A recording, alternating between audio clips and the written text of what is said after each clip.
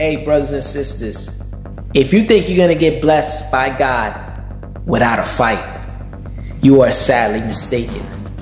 Let me explain something to you. God's ways are not our ways, His thoughts are not our thoughts. As people, we always think that people wish the best for us. As people on this planet, we want people to wish the best for us, but that's the furthest thing from the truth.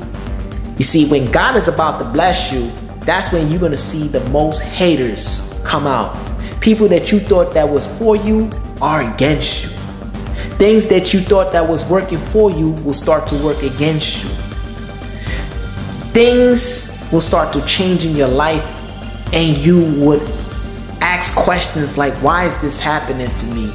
I didn't believe this could happen to me. Why me? See, all these things are distractions from the true blessing that God is about to do in your life. See, God, when He's about to do something major in your life, He has to remove people, places, and things. He has to stir up these things to rake you up. That's why it says, be sober minded and vigilant. For the devil walks around like a prowling lion, seeking who he may devour. See, when God is about to make a major move in your life, the devil's right there to try to sabotage it. But you have to be sober minded and vigilant. Your faith has to be like a rock. You have to have unwavering faith. See, if you're double minded, that's when you're going to be devoured. When you're living in unbelief, that's when you're going to be devoured.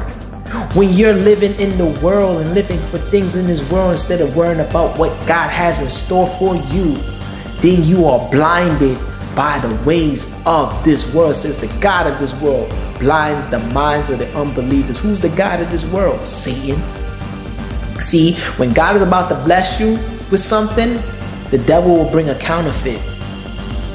If you don't have that spirit of discernment, how could you discern if it's coming from God or if it's coming from the evil one?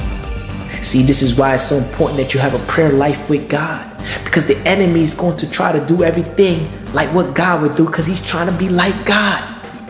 And you see, when God is about to bless you, the devil knows that God is about to bless you. So he'll try to distract you, he'll try to deceive you with things that are not the real thing.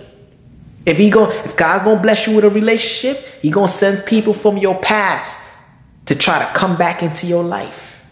If he's to bless you in your finances, he's going to try to send you opportunities that you've tried to apply for so long ago, but now they're starting to come into your life. Pay attention.